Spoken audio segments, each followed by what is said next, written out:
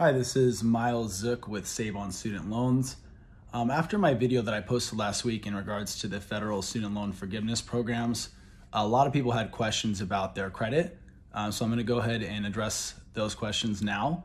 Um, when you go through a federally backed student loan forgiveness program, um, if anything, it's actually going to help your credit. Most people I talk to and most people's loans that I pull up they have multiple accounts um, taken out from each semester they went to school. Some people I've seen as many as 18 accounts. On average, most college graduates have about six to 10 federal student loans um, broken down between subsidized and unsubsidized per each loan that is taken out.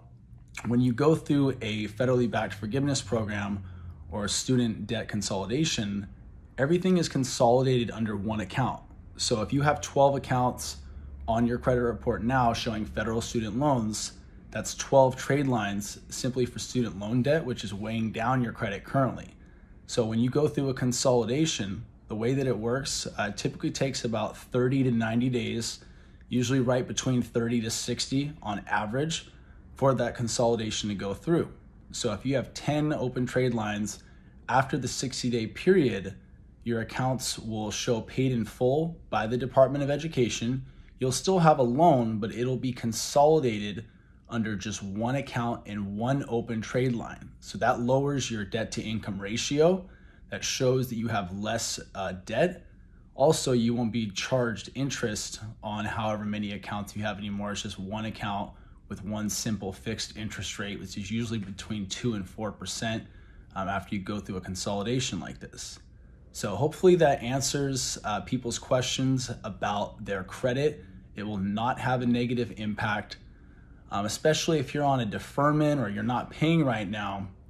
You know, that's a good time to consolidate because you don't have payments due. You risk no chance at all of falling behind.